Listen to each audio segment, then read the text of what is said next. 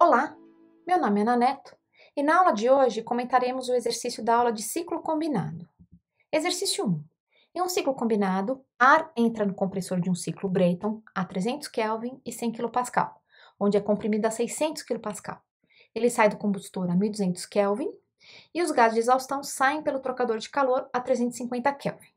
A pressão no ciclo Rankine é elevada pela bomba de 20 kPa para 4 MPa. O trocador de calor fornece energia térmica ao vapor, cuja temperatura passa a ser 400 graus Celsius.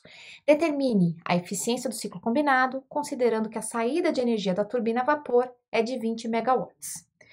Como vocês fizeram até agora, é necessário então fazer o levantamento das hipóteses, realizar as análises necessárias, na tabela de hipóteses simplificadoras listar aquilo que é válido para cada equipamento, mas primeiro, para a gente identificar todos os equipamentos, é importante desenhar o ciclo.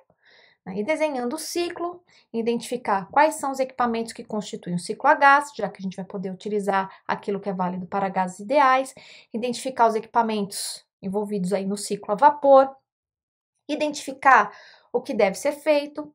Então, se a gente precisa determinar a eficiência térmica desse ciclo, quem que a gente precisa calcular? Nós vamos precisar calcular as transferências de energia, né? então nós precisamos tanto do trabalho líquido desse ciclo quanto do valor do QH, do calor fornecido.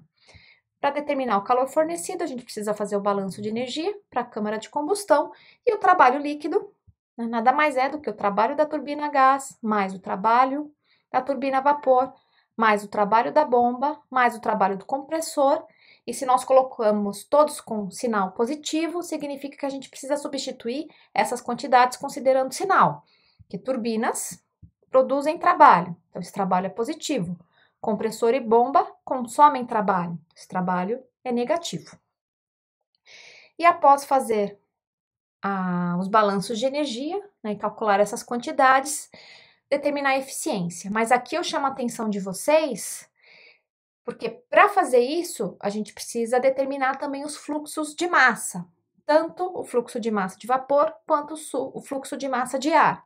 Porque a gente não pode calcular as transferências de energia por quilograma, os valores específicos, porque os valores do fluxo de massa de ar e o fluxo de massa de vapor são distintos.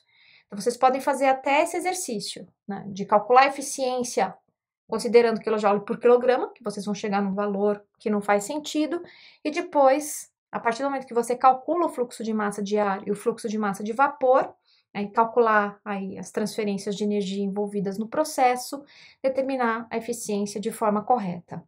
Outro aspecto que eu chamo a atenção de vocês, porque muitos livros né, identificam que o trabalho líquido para um ciclo combinado é simplesmente o trabalho da turbina a gás, mais o trabalho da turbina a vapor, menos aqui do compressor ou mais, depende se você vai levar em consideração o sinal ou não. E você pode desprezar o trabalho consumido aqui pela bomba. Também façam essa conta para vocês verem o porquê que a gente pode desprezar o trabalho da bomba na hora de calcular a eficiência de um ciclo combinado. Outra informação importante que foi dado no enunciado foi a quantidade de trabalho produzido pela turbina a vapor. Porque a partir dessa informação, vocês têm condições de determinar o fluxo de massa de vapor. E depois, com esse dado calculado, a partir do balanço de energia para a caldeira de recuperação, vocês têm condições de determinar o fluxo de massa de ar.